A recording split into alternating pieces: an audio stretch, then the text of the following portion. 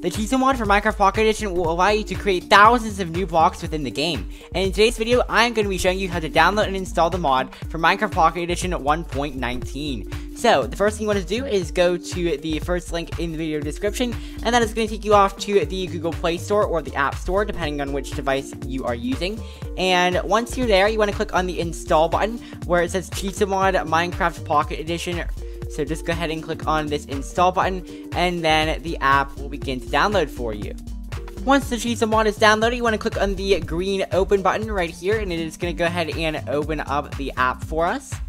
And then once the app is open, you want to go ahead and click on allow to allow the Chisel mod to access photos, media, and files on your device. So just go ahead and click on that um, allow button. And then once you're inside the app, what you want to do is click on the enter button right here in green. So whenever you click on this enter button right here, it is going to go ahead and give you a detailed explanation of everything the mod does. And once you read this explanation, then you can go ahead and click on the green next button right here. And right now there is going to be an ad, so you can just click on this little X right here to close out of the ad.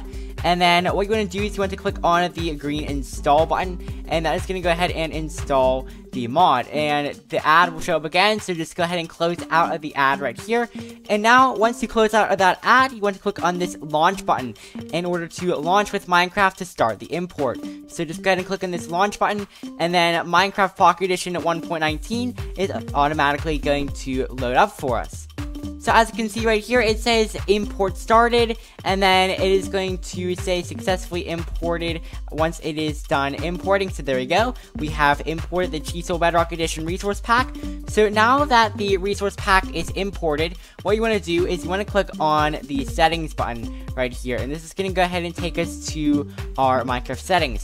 Once you're here, you want to scroll down until you find the global resources section. So you want to click on this global resources and then it's going to show my packs. So what you want to do is click on where it says my packs and then you want to select the Chisel Bedrock Edition resource pack and you want to click on this activate button. And now as you can see right here under our active pack section, if we click on this we have the default Minecraft texture pack and then we also have the Chisel Bedrock Edition texture pack activated.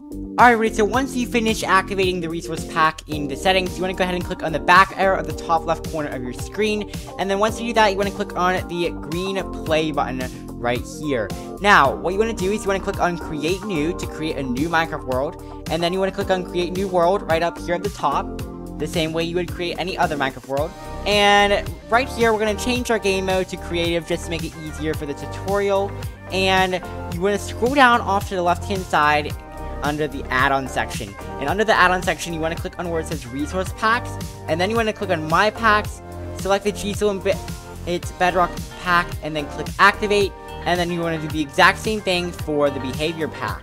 So just click activate for that, and then click on continue, and boom, now we have our Bedrock Edition Chisel pack activated in the behavior pack section, and we also have it activated in the resource pack section.